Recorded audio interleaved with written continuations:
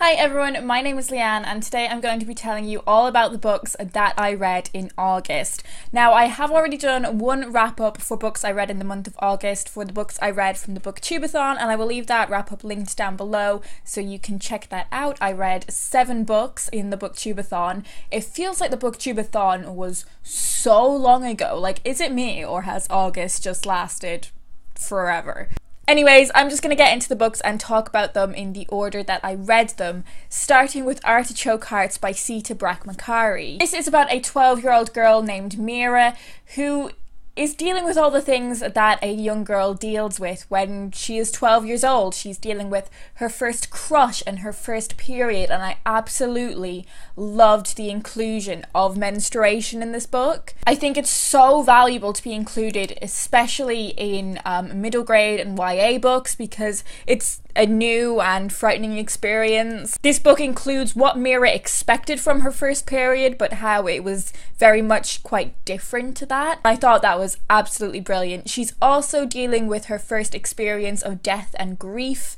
Her grandmother is dying and she's grappling with the emotions of that and trying to understand her own complex emotions related to this. The characters in this book also have quite diverse life experiences. Mira is from an Indian Jewish family, and she talks about how even within her family there is um, like diversity in how they look. She has dark skin but her sibling has blonde hair and blue eyes. There is one character who is Nigerian Irish, and there is another character who has been adopted from Rwanda after genocide. There is a romance plot to this novel, but it's not really the central crux of the novel, which I thought was really, really great. It was just one part of Mira's life, it wasn't the be all and end all of her life, in saying that the romance is super cute. Another book that I've read with a super cute romance plot is To All the Boys I've Loved Before by Jenny Han.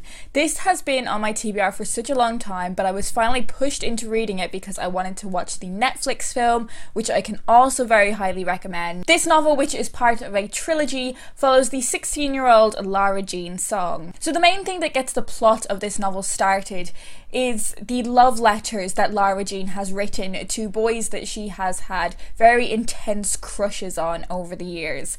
She wrote them love letters back when she had these crushes and has kept them in a box. And what happens is that these letters are sent out to those boys. She handles the situation incredibly well. I thought that the plot of the novel would be more to do with like chasing down the letters and trying to get them back. That's not what this book is about. There are four boys that she sends letters to. Two of them aren't all that significant, but the more significant one, there's Josh, who is one of Lara Jean's like closest friends, but he is also the recently ex-boyfriend of her older sister. Her older sister has just moved to Scotland to go to university and she has split up with Josh. And when Josh receives the letter that was written quite a while ago, his feelings towards Lara Jean become quite muddled. The other more significant person is Peter Kavinsky. Peter Kavinsky is like this pretty popular boy um, at Lara Jean's school, and her crush developed years and years ago when they had like a very small kiss in a game of Spin the Bottle. Basically, Peter and Lara Jean decide to have a fake relationship, basically to get the attention of other people that they are interested in. But again, feelings become pretty muddled. This is such a cute book. I love it so much, and I definitely want to read the rest of the series. The characters are constructed so well. Lara Jean and both of her sisters are half Korean. Unfortunately, their mother, who was Korean, has passed away, but it was really great to see their father, their single father, trying to keep their connection with their Korean heritage alive. I really enjoyed the film as well. I thought it was a really fantastic adaptation. I'm not one of these people that thinks like a book to movie adaptation has to be like exactly the same as the book. Like the art of adaptation is a thing, and I think all of the changes they made in the film made total sense. Yeah, I think you should definitely read this one, and if not, just watch the film because the film is great. There have been a lot of lovely books that I've read this month, and the next one of those is The Keeper of Lost Things by Ruth Hogan. I had heard nothing but good things about this book. I was so excited to get to it, and I am in love with the front cover. This is such a charming, quirky little read. This is a book about the possessions that a man named Anthony has collected over several years. He has collected objects which have been lost in the hopes that he will one day be able to reunite these objects with their original owners. Anthony is a writer and he writes stories prompted by these objects, and initially I wasn't sure about that structure in the novel, but I grew to really like it, and I found these snippets of his uh, imaginings of the owners of these objects and how these objects um, were significant. I found those little snippets so charming. Some of those little snippets of stories are more serious than others. Anthony passes away and he leaves the house to his assistant Laura um, and the one condition of her having this house is that she has to try and reunite the objects with their original owners. I don't think this book was perfect. It's a very, very lovely story, but there are moments in it that feel too convenient to be realistic. And also, I, I found the idea of wanting to reunite lost objects with their owners as like a sort of repentance to the universe. I didn't quite buy that. But in saying that, I still think it was a really charming read. And if you are interested in um, quite uplifting novels. Um, if you've enjoyed books uh, like Rachel Joyce's novels, then I think you would really enjoy this one as well. The next book I finished in August was Goodbye Vitamin by Rachel Khong, although it's set in America, so I guess it's Goodbye Vitamin. Um, this is about a young woman who goes back home to live with her parents and help her mother out because her father has been diagnosed with Alzheimer's. This book is told in diary entries, which is something that I really enjoy in novels. I think it works really well for me. Um, another thing that stood out about this book was the sense of humour it has.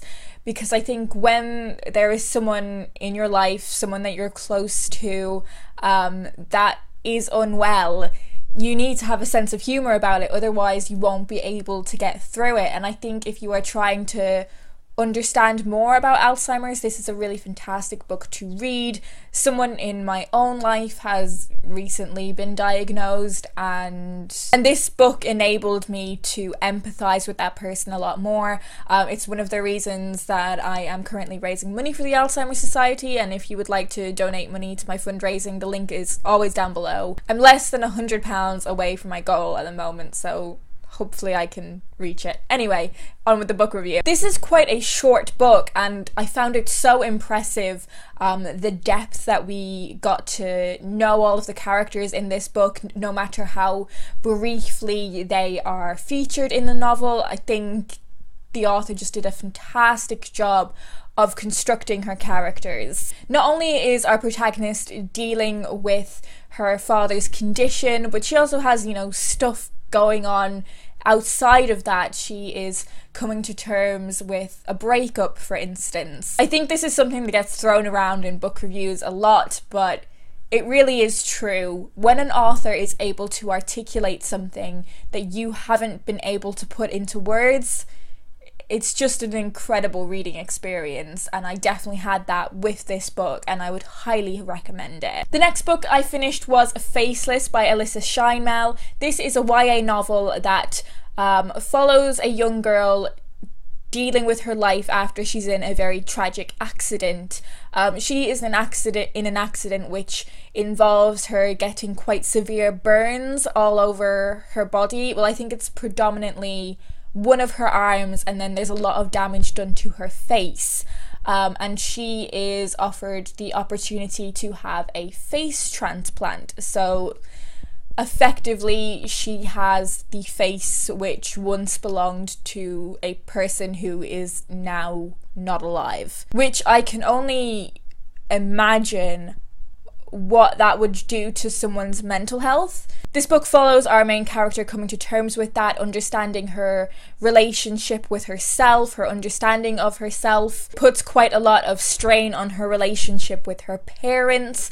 There is also a plot line which involves her boyfriend, her wondering whether her boyfriend has stayed with her out of pity. I cannot speak to the medical accuracy of this book, and I cannot speak to um, how it treats people with disfigurements. It's not something I have direct experience with, although um, my mother is a burn victim, and this book brought up a lot of thoughts about that. It also brought up a lot of thoughts um, to do with my own relationship with my physical appearance. It did make me have a slight existential crisis, like thinking about the value that not only society puts on particularly young women's appearances, but also the personal pressures that I put on my own appearance made me think about how much of my own personal worth and value I put in my own appearance. This book wasn't the best book that I'd ever read in terms of plot or character or writing, but it definitely gave me a lot to think about. Next book I finished was Forever Interrupted by Taylor Jenkins Reid. I am on a bit of a Taylor Jenkins Reid binge. I have read like one of her books every month since I discovered her writing, and I am building up to reading The Seven Husbands of Evelyn Hugo. And just like the two books I've read from her previously, I absolutely loved Forever Interrupted. Her books are like literary romances. They are incredible. We follow two timelines in this book, the first of which follows the blossoming romance between uh, two 20 somethings named Elsie and Ben. The chemistry between the two is instant. They are so into each other, they fall in love, and within a matter of weeks, they elope. So that's one of the timelines we're following, and the second one is further down the line. It is, I think it's just over a week after they elope and get married, and we find out that Ben dies. It was a random, tragic, shocking event. He was going to the shop to get Elsie like this cereal that she had a craving for, and he was knocked over and dies. So we're following this amazing romance plot at the same time as watching Elsie grieve for the person she believes is the love of her life. That event of the person that you love just randomly dying, that's an anxiety that I have had with so many different people in my life. Like with romantic relationships, with family relationships, with friendships. It's a place that my anxiety takes me to. And thinking about that actually happening was just a lot for my heart to handle. After Ben has died, we follow the tension between uh, Elsie and Ben's mother because Ben's mother didn't even know that Elsie existed. All of this author's books have made me extremely emotional, but they've also given me moments where I have genuinely laughed at things that the characters have said, and I just I think Taylor Jenkins Reid is a phenomenal writer that I would recommend to anyone. Next, on to the books that I read for Thrillerathon. I read two of the three books that I planned on reading. Uh, the first of those was The Sick Rose by Erin Kelly. Wasn't really a fan of this one. So, this book is about two protagonists. The first of those is 39 year old Louisa. She is like a botanical expert who is working on a restoration project. And then we have 19 year old Paul who is like a criminal um, and he is.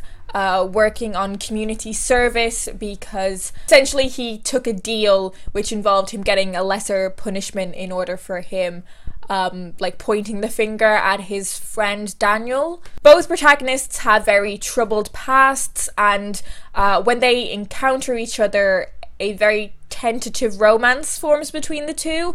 I didn't find the romance particularly believable. This book is also told through flashbacks, so Louise's flashbacks are 20 years previous, and we see her in a relationship with um, Adam, who is like a wannabe rock star, and he dies. That's something that is definitely still haunting her. Paul's flashbacks are, I think it was like seven or eight years previously, and it looks at the death of his father and how he began to get involved with this guy Daniel and start getting involved in criminal activity.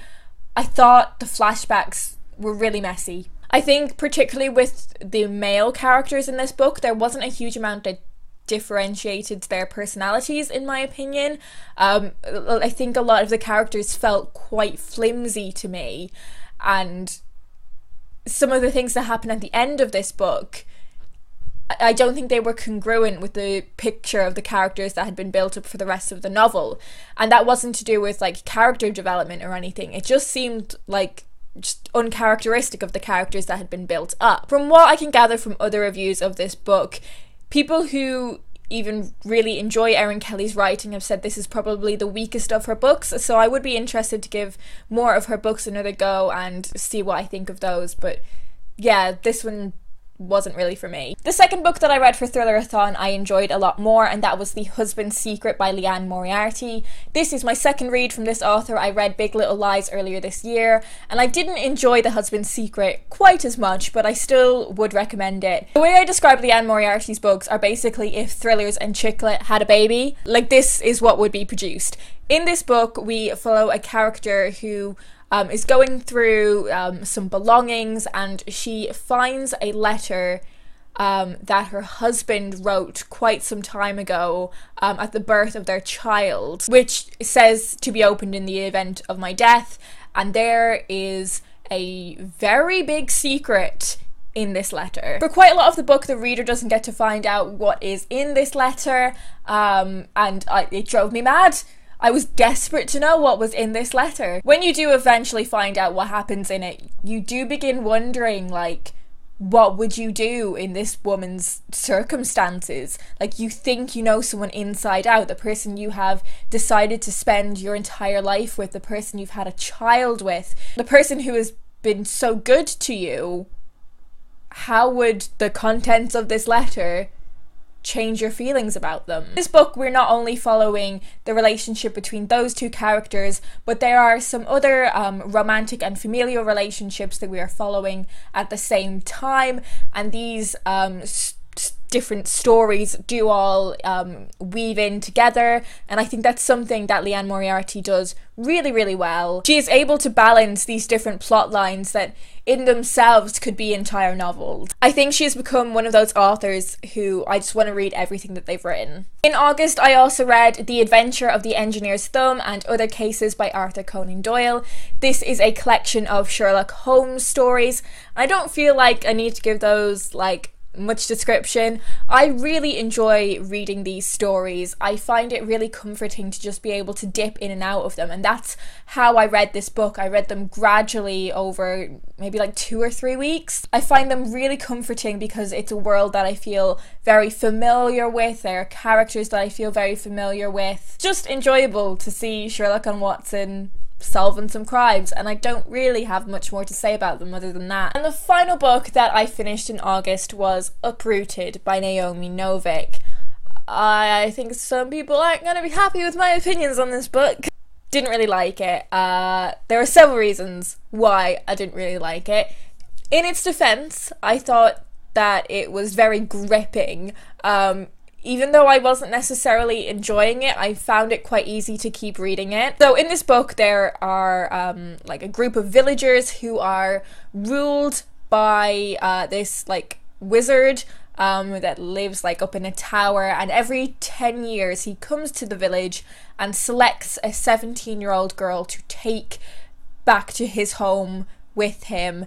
They stay there for 10 years, and then the girls never decide to go back to the village afterwards. They always go off somewhere else and do something else. Our main character is convinced that her best friend is going to be chosen because her best friend is beautiful and amazing, but of course, it's actually our main character that gets picked. Our main character, who is incredibly 2D, incredibly flat, all of her like character traits are very like surface level and superficial. In fact, I would say that for all of the characters in this book, they they are a list of adjectives rather than believable people. I thought this book was full of tropes. If there was like like insta love in this, the romance wasn't believable. Very much like a YA book masquerading as an adult fantasy. One of the things that I'd heard about this book was that it was very loosely a retelling of Beauty and the Beast it isn't really a retelling of Beauty and the Beast. There are like little elements here and there. There are fairy tale elements here and there, but they felt very tacked on to me. Just felt this whole book was like tacked together And it's probably my own fault for picking this book up. I should realize by now that like fantasy books with like a chosen girl who happens to be special are just I'm done with them. So yeah, wasn't really a fan of this one. So a bit of a mixed reading month in August. I read a lot of stuff that I really loved, some stuff that I didn't love. Let me know down below in the comments if you read any of these and what you thought of them. I know a lot of people are going to disagree with my thoughts on Uprooted. Anyways, I hope you guys are doing well and I will talk to you in my next video.